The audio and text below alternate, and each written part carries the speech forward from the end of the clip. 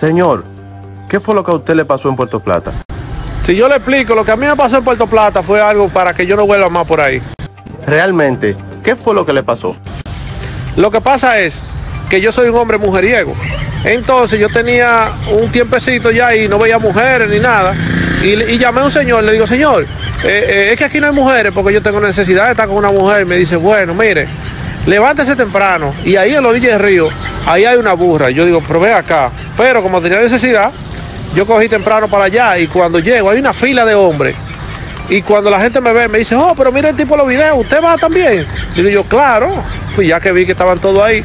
Y me dice, no, pero venga, pase adelante usted, porque usted está frío con nosotros. Me dejaron pasar adelante y yo me fajé a coger mi burra, usted sabe. Entonces cuando tengo un rato ahí cogiendo mi burra, dice un tipo, amigo, muévase que nosotros queremos cruzar, que de aquel lado que están las mujeres, la burra era para cruzar.